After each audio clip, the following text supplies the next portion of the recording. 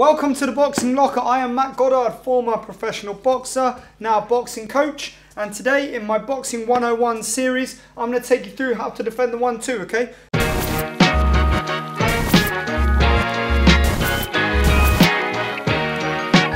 We've discussed defending the individual punches, the jab and the cross in previous videos. We've discussed how to throw them, how to move with them, all them kind of things. Now we need to learn how to take two punches away from the opponent. This means combining two methods of defense, okay? So the first and foremost method of defense that we spoke about against the jab was the catch. Now we have to presume that our opponent has followed that catch up with a cross, okay? So I've caught the I've caught the jab, now I'm looking to defend the cross. So what could we do? Right, we have multiple options, but my personal favorite is to slip straight outside of it. Okay, so something we spoke about when we were defending the cross. We combine these two methods of defense, boxing position. I catch, firm catch, I drop over to this side. Weight loaded on that side, I can counter. So I catch, I drop over to that side. That's defense method number one. Catch, drop. Yeah, I get my head off that centre line. Let's show you that in Southpaw. Remember, this is Southpaw to Southpaw, not Southpaw to Orthodox. Everything changes. I'll go through in a later video. So I'm in my boxing stance, catch, and now I drop over to this side, defend. High lead inside hand, and I'm back in. Yeah, catch, drop, back in.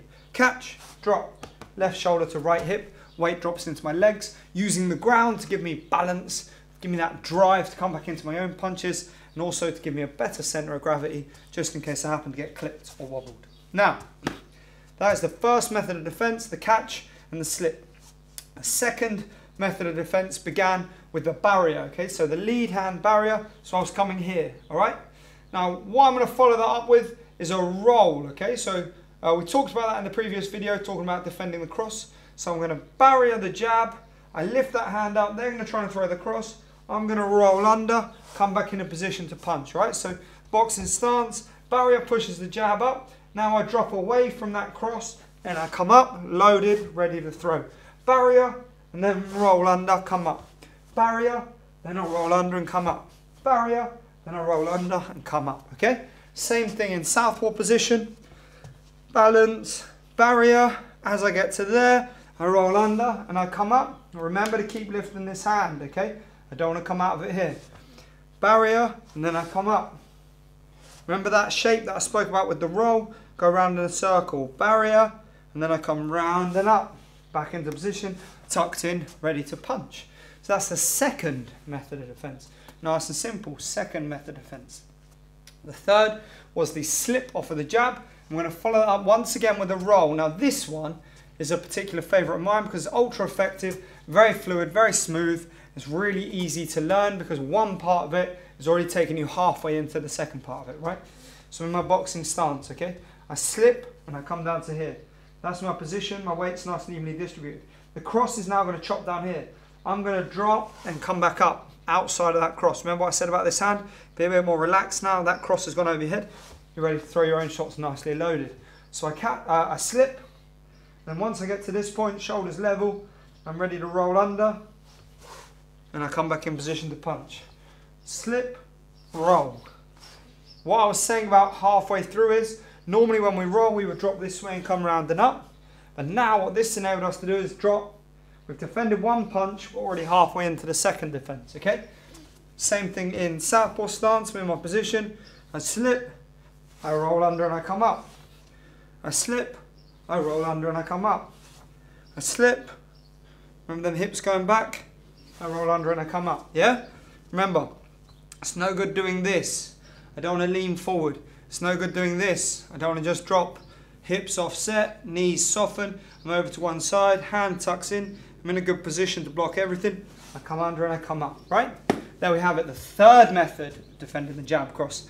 And as I said, my favorite, my, my not only is it my favorite, but also I think looks the best because to dramatically make someone miss two punches is always a very impressive thing to see, particularly at a high level of competition. Uh, the next method of defense is um, nice, simple step out. Okay, so we're going to step out the way of the jab, boom, step back. Once we stepped out the way of that jab, I'm then going to defend the cross with the barrier.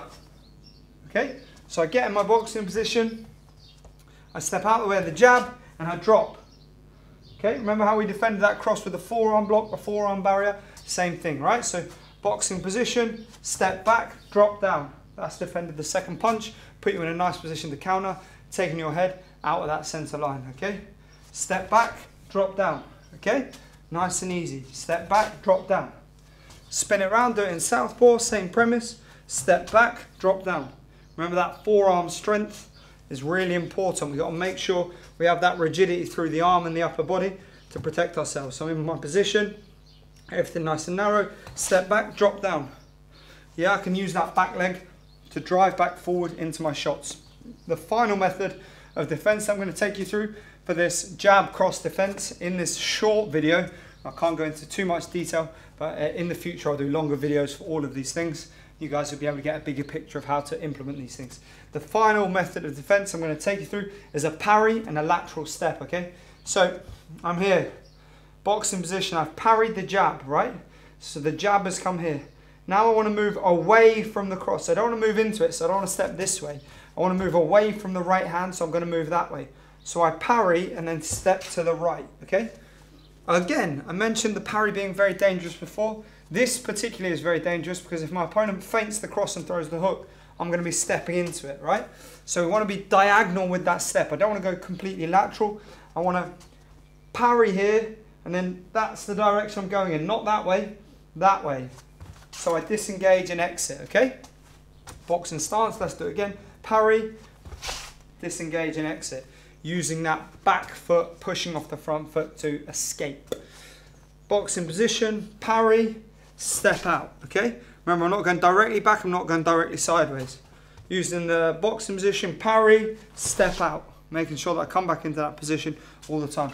With that parry, remember to push past your own hand and then move yourself out of the way. There we have it. Very, very easy. Five ways to defend the jab cross. When I say easy, what I mean is easy to understand. Now it's down to you to do the hard bit. That is thousands and thousands of repetitions.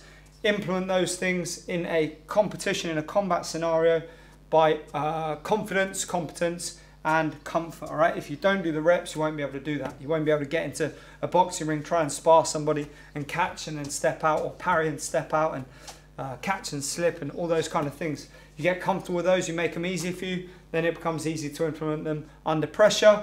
That's when you really, really level up. That's when you become very effective at boxing and at fighting generally.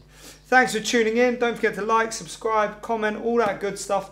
I'll reply to every comment that I possibly can if I can and I hope you enjoyed the video. Don't forget to check out the rest of the series and make sure you're ready for all the videos that are to come. Have a great day